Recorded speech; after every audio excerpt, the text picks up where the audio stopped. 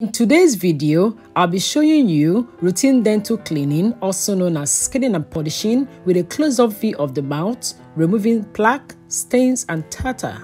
Hi everyone, I trust you're doing okay. My name is Hannah Olaoye. I'm a dental therapist. If you're new here, you're welcome. If you've been here before, you're welcome back.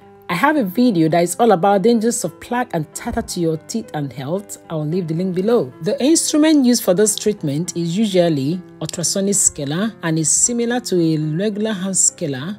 However, this one has water coming out of the tip which helps to clean out the, the scaled plaque tartar and stain as well as make it visible to walk around the surfaces with ease. These scaling tools can be called either piezo or Cavitrons. It depends on the vibration. But this ultrasonic scaler uses a combination of ultrasonic vibrations and high pressurized water to remove plaque, tartar, and stains. So this is used on every single patient during this procedure. Your dental therapist or hygienist just dial it either up and down strokes to remove the plaque, tartar, and stains on the surfaces of the teeth.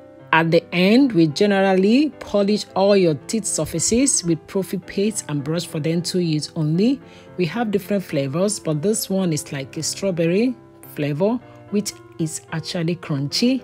I have a video on difference between plaque and tartar which I will link below because a lot of people think that they are the same and it's not. It's something interesting to learn. I hope watching this video is like kind of fun. I think it's cool. We are proud of getting this through to you and it's cool to see a close-up view of the mouth.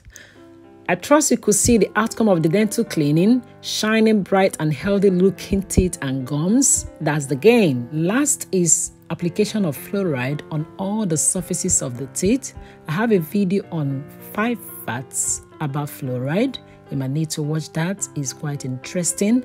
If you have any further question about teeth cleaning, also known as scaling and polishing, you can leave your question on the comment. I will get back to you on that.